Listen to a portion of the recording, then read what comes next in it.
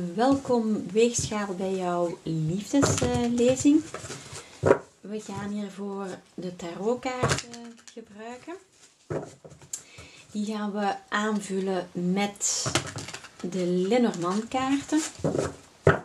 Die dan eventueel uh, extra verduidelijking geven of uitbreiding uh, aan de kaarten. En op het einde van de lezing gaan we uh, drie persoonskaarten erbij nemen, zodat we een idee hebben van wie er eventueel bij deze lezing betrokken zou kunnen zijn.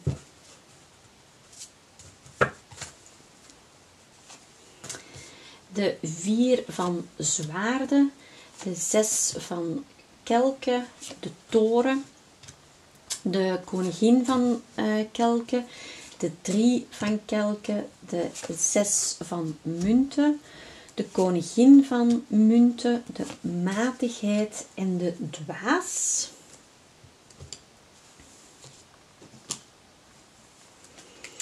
En dan nemen we de Lenormand kaart er nog bij.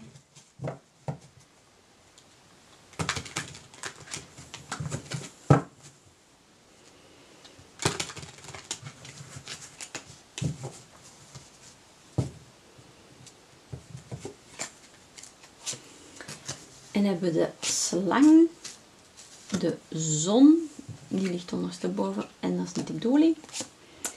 En de uilen.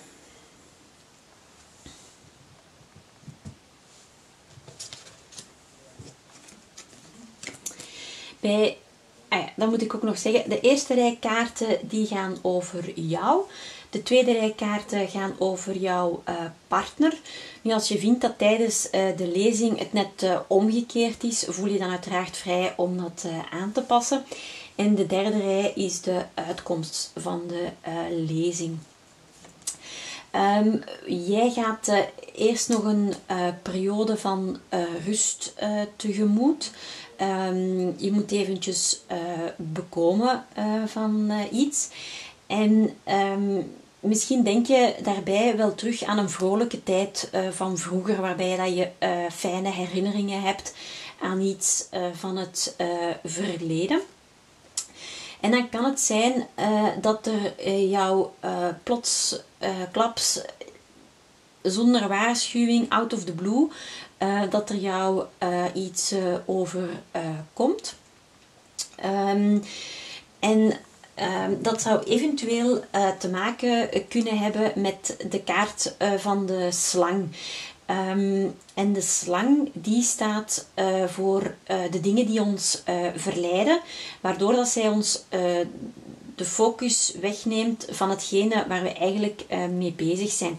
En het kan hier zijn um, dat we in, die, in deze periode van rust en uh, die periode dat we terugdenken aan dingen uh, van uh, vroeger, dat we zo ver afgeleid zijn van iets waar dat we eigenlijk op dit moment moeten mee bezig zijn, waardoor dat, er, hier, dat, we echt wel um, gewaarschuwd worden van hallo, keep focus.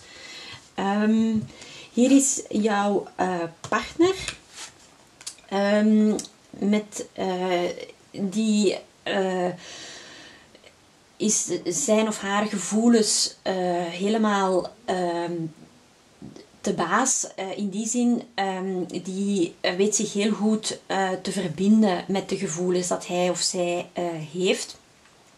En uh, die ja, partner die weet ook heel goed van het leven uh, te genieten. Hij met de zon die staat voor hoop en uh, voor succes. Dus dat weet jouw partner heel goed te doen. En terwijl dat jouw partner van dat leven geniet, zorgt jouw partner ervoor dat al het nodige in zijn leven, dat dat echt wel in balans is. Het geven, het nemen, de inspanning, de ontspanning.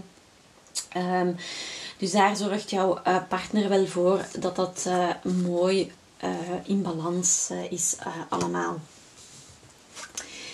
En dan met deze combinatie um, gaan jullie een nieuw begin gaan maken.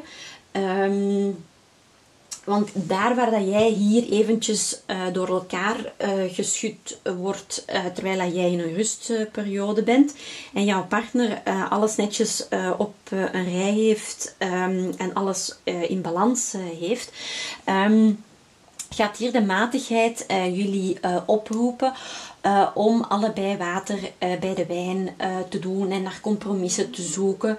En hierbij kan het interessant zijn om eventueel raad te gaan vragen aan familie, vrienden, kennissen. Um, dat jij even uh, jouw situatie situeert, uh, de situatie van jouw uh, partner. dat jij wat jouw idee erover is van hoe dat, dat aangepakt kan worden. En dan kan je ook raad krijgen van die familie, vrienden en kennissen.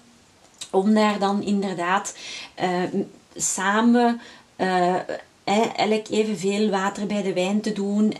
en naar elkaar uh, verder uh, toegroeien. Uh, wat dan gaat leiden tot het nieuwe begin een nieuwe start in jullie relatie. Um, en jullie gaan terug blij, gemutst en vrolijk de toekomst tegemoet gaan. Doordat jullie weten elk water bij de wijn te doen. En dan gaan we er persoonskaarten bij nemen. Zodat we een idee hebben van wie dat er eventueel betrokken kan zijn bij deze lezing.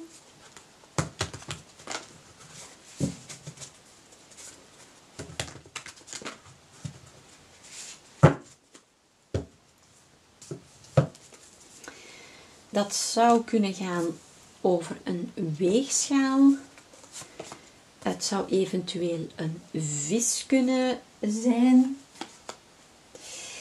En bij die weegschaal, uh, dit wil gewoon zeggen dat jij heel sterk in jouw eigen uh, schoenen uh, mag staan. Hè. Of uh, er zou eventueel een stier bij betrokken kunnen zijn bij deze lezing. Zo, dit was jouw lezing. Ik wens je nog een prettige dag.